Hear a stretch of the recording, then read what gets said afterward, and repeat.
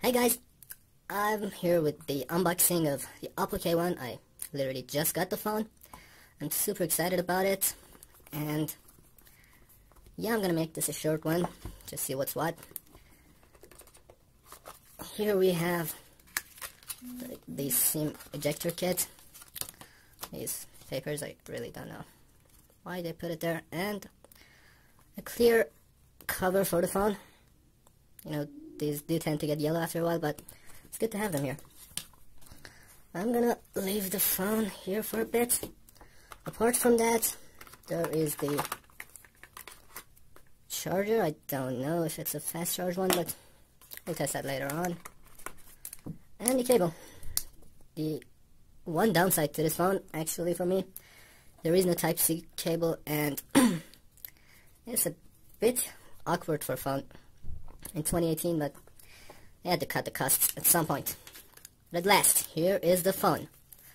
Phone I've been eager to get my hands on ever since they announced it, actually. And I'm super excited. My hands are actually shaking. I've been waiting for this. Oh, I accidentally turned it on.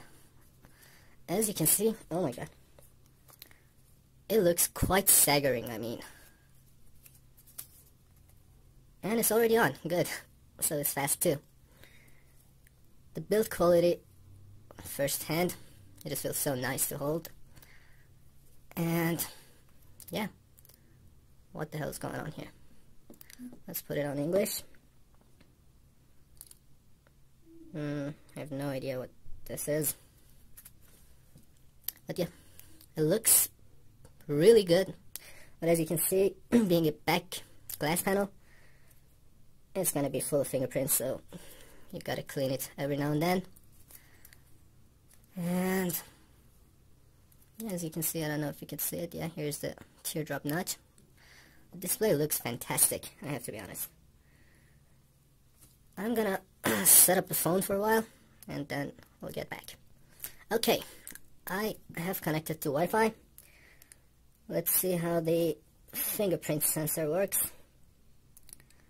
I'm gonna have to take it away so you guys can see my password. There we go. I'm not gonna do the facial one for now.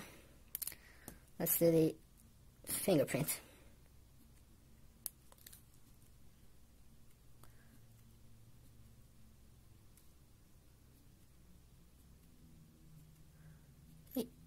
It's a bit slower than fingerprints on Xiaomi's or Huawei's. You know, they take around like two minutes. To, I mean, like 10 seconds to set up, but being an under display fingerprint reader, guess we could. Okay, all done. And let's see.